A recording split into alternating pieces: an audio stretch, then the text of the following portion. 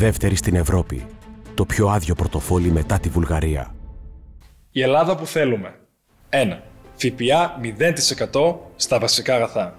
2. Εταιρείες ηλεκτρικής ενέργειας διήλυσης, ανώτατο κέρδος 5%. 3.